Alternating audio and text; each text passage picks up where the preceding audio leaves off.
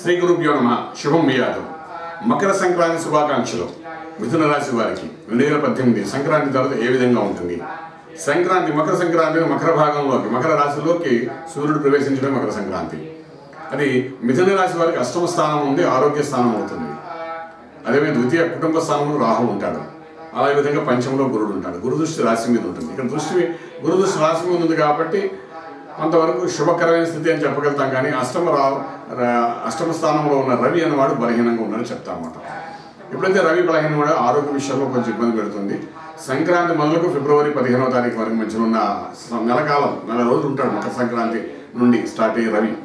ఈ నెల రోజుల కాలంలో కూడా ఏంటంటే కొంచెం ఆరోగ్య విషయంలో కొంచెం చిరాకులు పెరిగే అవకాశం ఉంటుంది కుటుంబంలో చిన్న చిన్న కళ కలతలు చిన్న చిన్న మాట పడడం ఇవన్నీ జరిగే అవకాశం బాగా కనిపిస్తుంటాయి. మకర సంక్రాంతి నుండి చూసుకుంటే. గురుబలం బాగుంది కాబట్టి గురుదృష్టి ఉంది కాబట్టి రాశి మీద కొంతవరకు ఊరటగా ఉంటుంది. కానీ అష్టంలో కేతువుతో కూడిన రవి ఉన్నాడు కాబట్టి ఈ కష్టాల్లో ఒక భాగంగా చిన్న చిన్న దెబ్బలు తగలడం కానీ చిన్న చిన్న ఆపరేషన్ కానీ కుట్టుడు స్టిచ్చింగ్ అవ్వడం కానీ నడుపుకోవడం జరిగే అవకాశం ఉంది కాబట్టి చిన్న పిసరు ఇబ్బంది కలుగుతుంది కాబట్టి జాగ్రత్త పడడం చాలా అవసరం పడుతుంది.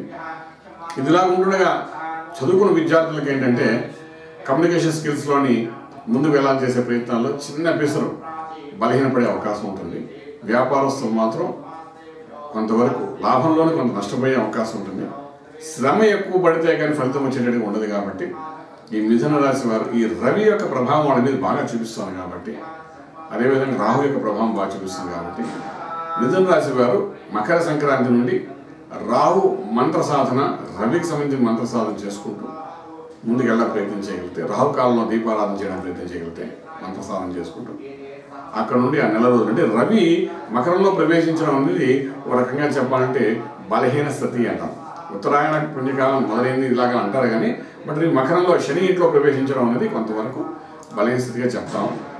అంచేత ఈ మిథున రాశి వారు ఆ విధంగా సూర్య ఆరాధన శివారాధన అదేవిధంగా రాహు గాయత్రి మంత్ర సాధన చేయడం ప్రయత్నం చేయగలిగితే అకస్మాత్తుగా జరగవలసిన అనారోగ్య స్థితి నుండి బయటపడడానికి అన్ని విధాలుగా యోగానిచ్చే అవకాశం ఉంటుంది. కాబట్టి ప్రయత్నించండి.